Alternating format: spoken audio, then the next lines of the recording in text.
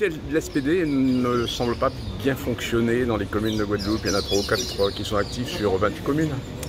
Alors, euh, je dirais qu'ils ont souffert de la période Covid, hein, qui malheureusement nous a tous un peu éloignés les uns des autres.